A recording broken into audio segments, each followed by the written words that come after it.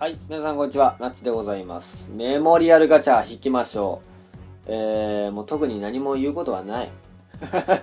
えー、僕的にはランク150の方に需要があるんで、えー250の方から引いていきたいと思います。もうレアガチャ引いてる感覚で、えーゴッドフェス引いてる感覚で、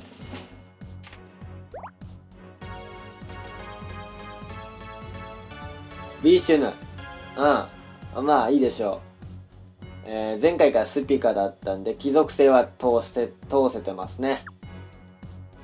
ザ問題の150の方。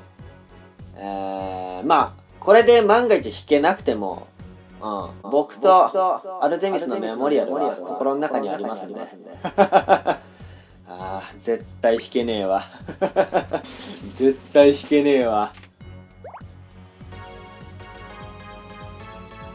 ちょっと惜しいし、ぼったいし、